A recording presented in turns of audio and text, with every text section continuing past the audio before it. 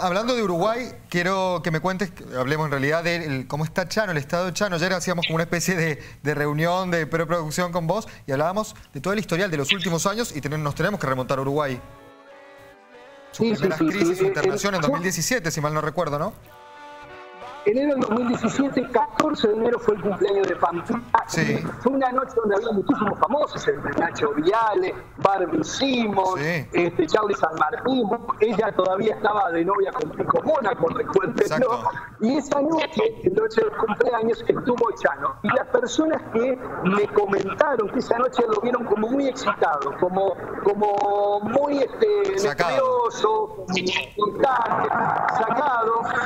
Pero también quiero contarles que la noche anterior también había tenido un incidente similar o parecido, estamos refiriendo al día 13 de, enero del 2017, y el día 15 tuvo que internado en un incidente que no llegó a mayores de casualidad y porque hubo un muy buen manejo, un excelente manejo por parte de las autoridades de un centro turístico, es decir, un hotel, y también de la policía. Le quiero poner este punto porque el incidente podría haber sido muy similar al que ocurrió hace pocas horas, claro, en, hace pocos días en Argentina. Bueno, eh, se lo pongo más o menos en contexto. Por favor. Según me, me, relataban las, las, este, las, personas que estuvieron asistiéndolo, él tuvo 48 horas sin cambiarse según ellos parecía, parecía que, hubiera estado sin bañarse. Él había tenido una especie de brote psicótico. Yo lo vi en la piscina de este hotel hablando solo.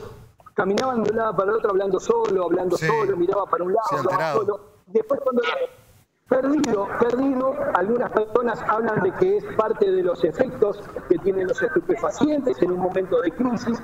Y también quiero decirle que él en ese año estaba al cuidado de su manager, de una chica que estaba al lado con él en la habitación y de un psiquiatra.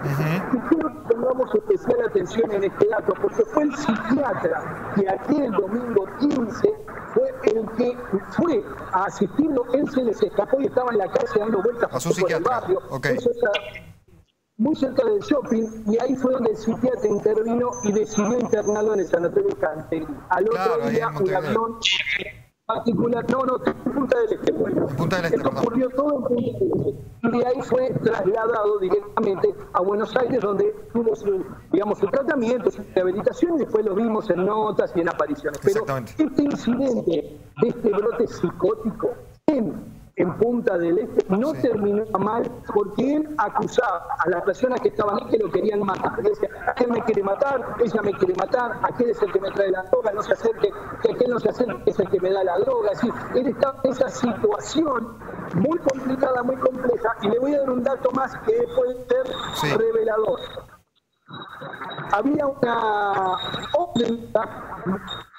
en el cual se había dado indicaciones de que no hubo un elemento contundente en la habitación de ah. Cualquier elemento contundente, y usted sabe a lo que me refiero, porque ya el grupo de personas que estaban al cuidado sabían de esta situación. Así que no es digamos, este, ajeno claro, al Es una crónica de una muerte anunciada porque unos años después, ahora se está repitiendo la misma situación con el agravante de que tuvo que intervenir la policía y recibió un disparo, como pasó en las últimas horas, los últimos días.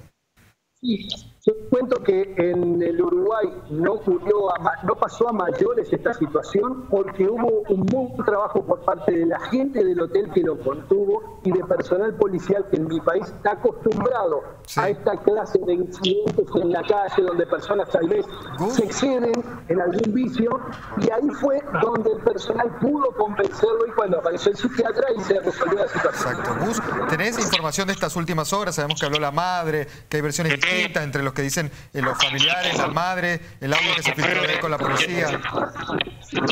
Bueno, acá hay que estar muy atentos porque estamos en una línea en la actuación policial. Es una actuación que se ajusta al derecho, que se ajusta al procedimiento, porque la madre, la madre lo está acusando a este oficial de haber tenido una actitud.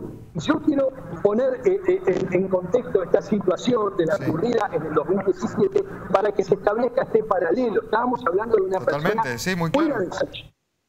Fuera de decir, donde los oficiales de policía dijeron de que había amenazado hasta su propia madre.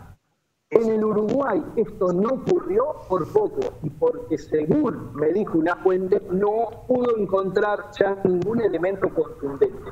Pero se había mostrado sido en principio. Se hubiese repetido la historia personal pudo convencerlo, venir, sentate acá, llegó la policía, estuvieron como dos horas en la calle conversando con él hasta que el psiquiatra lo convenció. Estamos en una delgada línea, mis amigos, donde el oficial, el policial va a tener que enfrentar este proceso y la justicia va a tener que aclarar esta situación.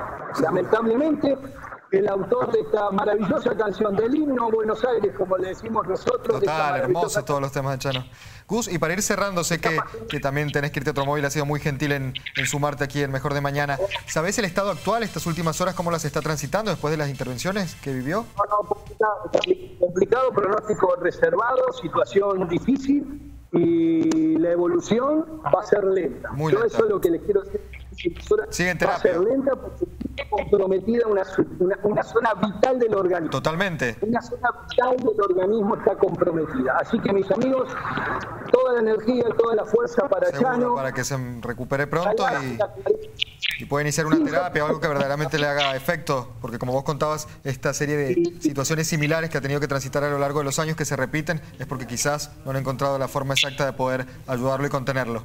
Gus, es un placer como siempre escucharte, siempre tenés mucha información y sos muy claro, así que te, agradecemos por tu participación aquí en Mejor de Mañana. Abrazo grande y pronto voy a estar por Mendoza. Pronto. te queremos acá en el piso usted no tiene que llegar a la, bodeguita no sé cuánto, a la otra que está en el medio de un vinquedo, al otro restaurante no sé cuánto. Te acompañamos. Te acompañamos, sí, obvio. Te queremos acá en el piso. Muchas gracias, Gus. Como siempre, un placer. Un grande, que pasen bien. Chao, chao. Chao.